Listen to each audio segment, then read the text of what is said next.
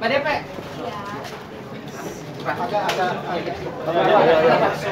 Mbak Depe. Mbak Depe. Enggak dong, kita nggak pernah salah. Kita Enggak, enggak pernah salah Mbak Depe mah. Ya, Mbak Depe. Mbak Depe. Tangannya dong, Pak. Tangannya dia. diperiksa sebagai saksi aja karena berada di dalam mobil tersebut. Gitu. Oke. Ya, Oke, nanti sambung lagi ya. Hah? Mbak Dewi laporan baru ya berarti ya? Bukan laporan baru, laporan yang kemarin. Yang mereka laporkan itu. Teman-teman sudah eh, sudah pasti punya dokumentasinya dari pihak Transjakarta bahwa bahwa si petugas itu melaporkan kami kan yang kemarin yang kemarin lah itu coba di flashback lagi. Lah sekarang ini kami dipanggil atas pelaporan itu.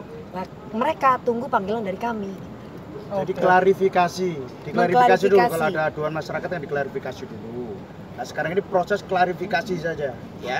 Nanti kita serahkan bukti-buktinya bahwa kita, mereka kan harus bisa membuktikan ya. apa yang mereka ungkapkan. Karena kan ini sangat merugikan kami berdua yang harusnya syuting nah, gara-gara begini dipanggil lagi datang lagi. warga negara Indonesia yang punya kewajiban-kewajiban di mana saya punya hak untuk membela diri saya bahwa kami berdua tidak melakukan pelanggaran dan itu sudah diucapkan oleh Bapak Halim selaku Dirlantas karena memang kami mendapatkan diskresi dari pihak kepolisian. Dan apa yang disampaikan dari awal sampai akhir itu sesuai fakta hukum.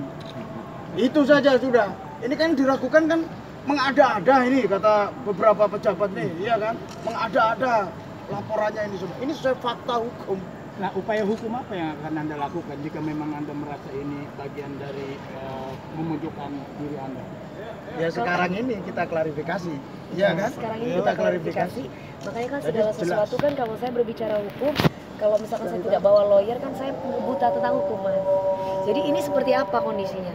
Karena kalau kita berbicara eh, jabatan, mau artis, mau petugas busway, mau siapa pun itu, kita punya hak.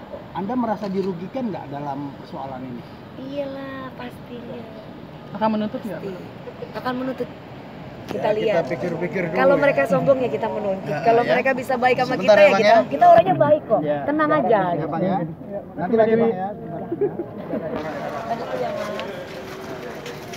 Teman-teman bisa tahu sih.